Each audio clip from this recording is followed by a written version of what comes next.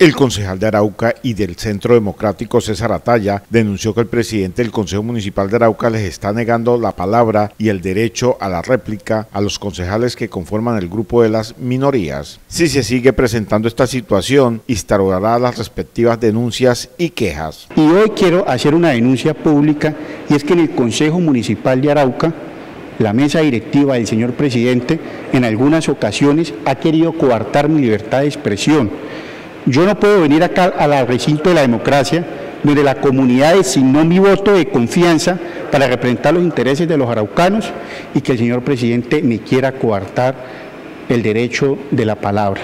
Y no es solo el derecho de la palabra, es el derecho de la réplica, porque cuando siento mis posiciones, algunos concejales, que es muy respetable, no están de acuerdo con lo que digo. Entonces, hacen la réplica, me nombran y no me dan el derecho a la réplica para poderme expresar acerca de los argumentos de ello. El concejal de Arauca, César Atalla, manifestó que los concejales son electos es para defender a la comunidad y no los intereses personales. Y quiero enviar un mensaje contundente a la comunidad de Arauca. Y es que acá vemos unos concejales que no estamos en las mayorías, que no estamos tampoco defendiendo nuestros intereses particulares, que acá estamos defendiendo los intereses del pueblo araucano.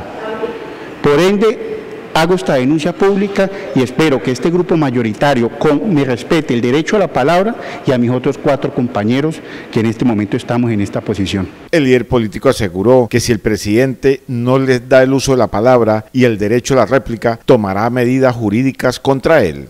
Carlos, yo creo que muy seguramente lo haré. Si se sigue presentando, no es solo en esta presidencia, que está a punto de terminar en este, este periodo de sesiones ordinarias del mes de noviembre, sino en las secciones que siguen próximamente, en los próximos periodos. Presidente, a mí, que me vuelva a cortar la libertad de expresión, tendré que denunciarlo ante la Fiscalía General de la Nación por prevaricato y ante la Procuraduría General de la Nación una queja disciplinaria. El reglamento es muy claro y acá a ningún corporado, bajo ninguna posición, se le puede negar el, su derecho de la palabra. A ningún corporado tampoco, de igual manera, se le puede negar su derecho a la réplica.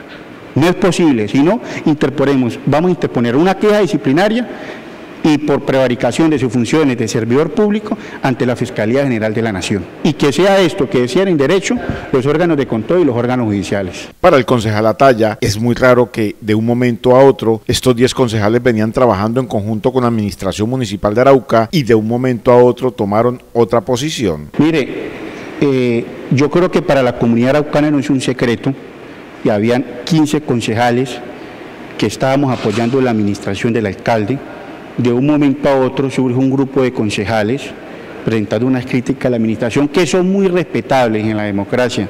Pero Carlos, yo digo, si llevábamos casi dos años donde 15 concejales estamos trabajando con la administración, ¿por qué de un momento a otro salen a atacar la administración. Ellos pueden decir que la administración no ha ejecutado, que la administración no ha llevado a cabo su plan de desarrollo, pero mire, es que venimos de una pandemia, venimos de unos cambios administrativos que la, que la pandemia ha parado procesos y hasta ahora se están reactivando.